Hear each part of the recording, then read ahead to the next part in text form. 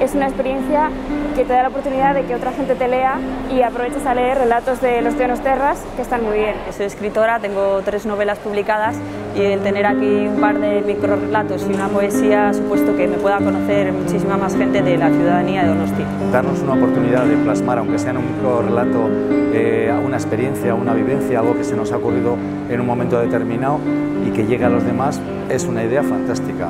Yo creo que necesitábamos sacar un poco la cultura de determinados lugares convencionales. ¿no? Cuando hablamos de sacarla a la calle quiere decir que cuando en un momento dado estás esperando el autobús o estás esperando a que te atiendan el médico en un hospital, se puede consumir cultura porque es un bien de primera necesidad que puede alimentar el espíritu en el momento más insospechado. Yo creo que Culture Dealers es un proyecto muy interesante porque pone en relación a los creadores literarios que están trabajando en talleres de escritura de muchas casas de cultura en Guipúzcoa